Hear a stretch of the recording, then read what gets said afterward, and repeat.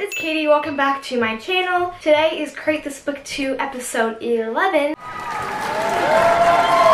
I really hope you guys enjoy this episode. We got four awesome pages. Took a lot of work to put this together, so if you wouldn't mind subscribing, that would really mean the world to me. All you have to do is click that red button down below or click the link in the description. It's completely free and it really helps me out. I'm trying to get to a thousand subscribers by the end of 2020. We are on the last 200 guys, we're the last stretch. So tell your friends, get people to subscribe.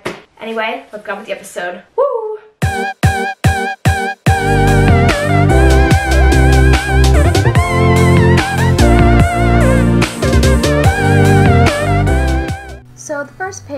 Says create repetition, repetition, repetition. Fill the space by repeating something over and over. So I've been looking forward to doing this page for a long time, and I thought I would devote this entire page to the Black Lives Matter movement. So, as you may have guessed, I'm going to be repeating Black Lives Matter over and over again. So first I did Black Lives Matter in the middle in block letters, and then I'm writing Black Lives Matter, ladder, Matter over and over in the background with rainbow colors, which you'll see in a minute.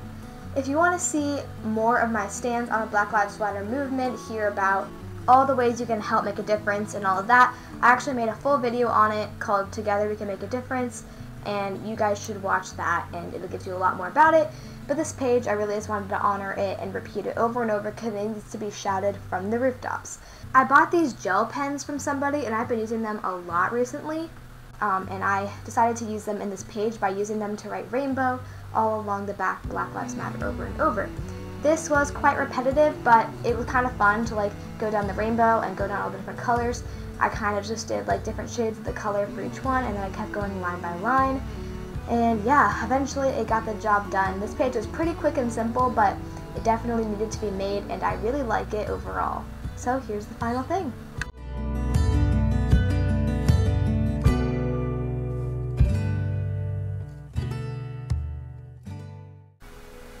Emphasis. Place multiple things on this page. Choose one of them to emphasize using color, size, lines, etc. So I was actually pretty stuck on ideas for this page. I had a lot of different things that I was going to do and none of them really spoke to me.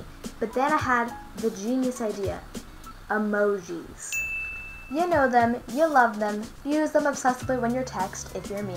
So I used a perfume bottle cap to draw a bunch of good circles, and then I drew a big one in the middle. And the one I'm going to emphasize is the cool face emoji, which I'm going to make a lot bigger, and I'm going to make it in a rainbow instead of the classic yellow. So I looked up pictures online of all the emojis, and I started drawing a bunch of them out.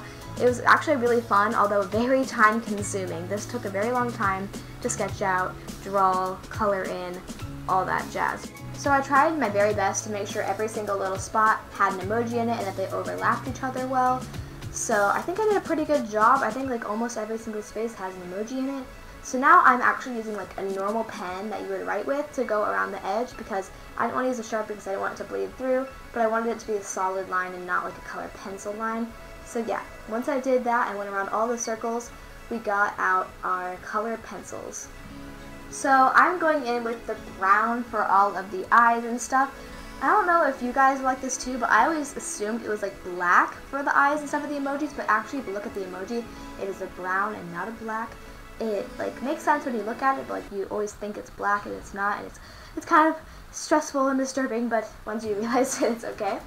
So I just went over all the eyes and everything with the brown which I'm going to try to speed through this as best I can because this honestly took me like, I don't know, three or four hours to do this page. It was a lot of effort to do all the different little details and all of the emojis. So yeah, I'm going in with my colored pencils. So as you guys know, these colored pencils were my new colored pencils that I got for my birthday. I used to use Crayola colored pencils, which worked fine for me, but I was getting trying to get some nicer colored pencils. So I got these ones that I'm using in this clip for my birthday, which I liked these okay, but there was like 170 colors, like it was a lot of colored pencils.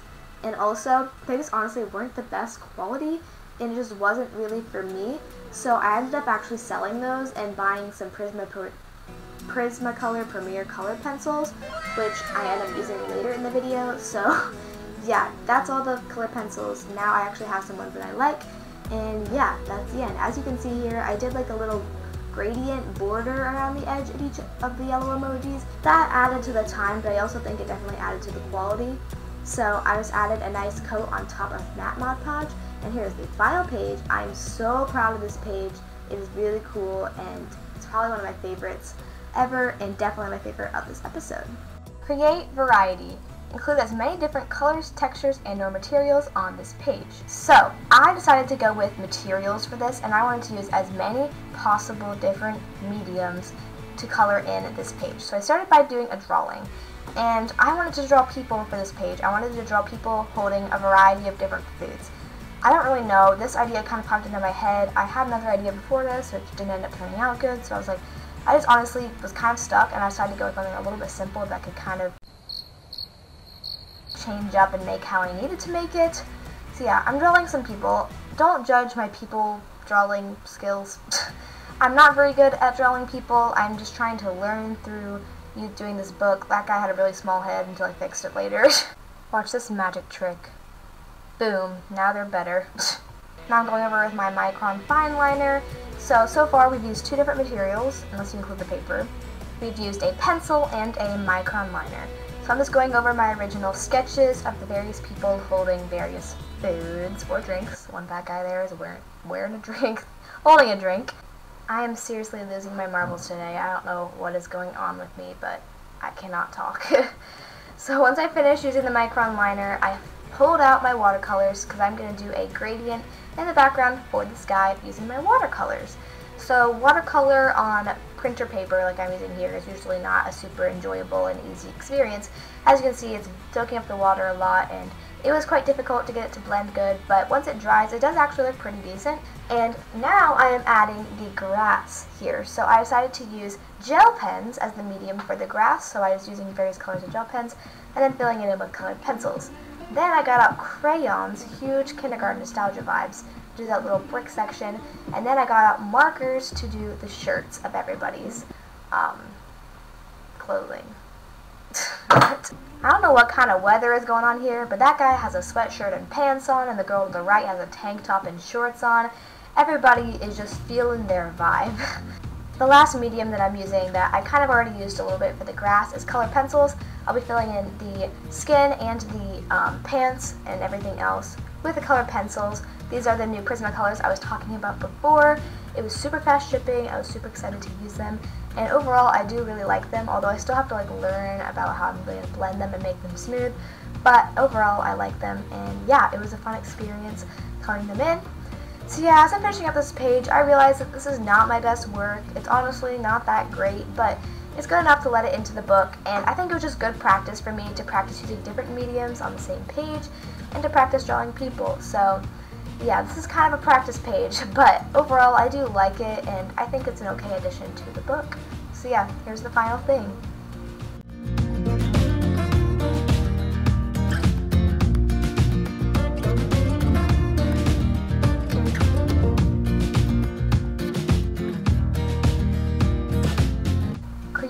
On black. Seems simple enough. So I also kind of have been waiting for this page because I didn't really know what I was going to do with it. I was like, uh, I don't really have any ideas for how I'm going to do this. But then I had the idea of doing pandas. Now, pandas obviously have white and black in them, so that'd be kind of interesting. But I thought it'd be fun if I used a metallic marker. So I'm speeding through the sketching process because you can't really see anything I'm doing.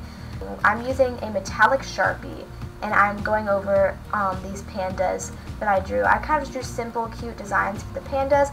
As you see, there's little spots where the bamboo is going to go, which I'm going to make later. And I'm just filling in all the parts of the panda that would be white with metallic. Um, this turned out okay. There were some parts, I feel like I could have drawn them better, but this is what they look like. I think they look pretty cute. It was really simple and fun, but yeah, I like it. So then I pulled out some strips of white paper and some paint, and I painted over them with like a color of bamboo. Then I added little details with a darker green. I also made some little leaves to go off of the bamboo, so once I let that dry, it was time to glue it into the book. So the story behind this is the two parents are trying to work together to build a nice home or something, I don't know, for the pandas to live in, and the two twin children are just messing around, messing everything up, climbing on all the bamboo, and the parents are just like really annoyed by their kids. So yeah, this is the final page. I actually really like this one. It's cute, although not my best. Bye guys, thanks for watching this video. Make sure you like, comment, and subscribe to get Katy to her goal of a thousand by the end of the year. Um, I am on the title, guys. But I'm filming the outro because I wanted to test out Katy's new camera. Pretty lit. Tune in to see me in a few weeks. I'm gonna vlog and I'm gonna take over the channel and Addie, but that's not that important. okay. Bye.